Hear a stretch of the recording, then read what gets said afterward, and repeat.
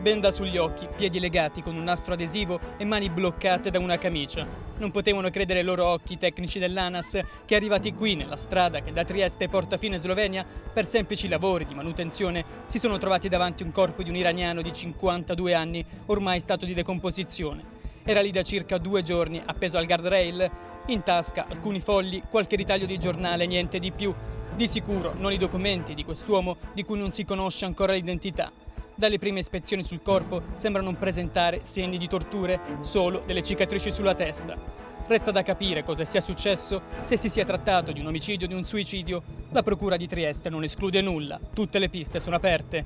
Noi abbiamo provato a ripercorrere questa strada per capire se lui possa esserci arrivato da solo.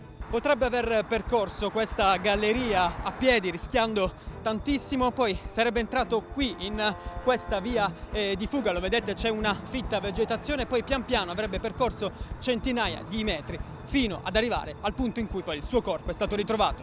Noi abbiamo provato a continuare, ma a un certo punto sembra essere quasi impossibile. Qui la vegetazione diventa sempre più fitta, è difficile proseguire. L'ipotesi che si fa sempre più spazio è quella di un omicidio, maturato magari per una partita di droga non pagata oppure per uno scontro tra bande criminali.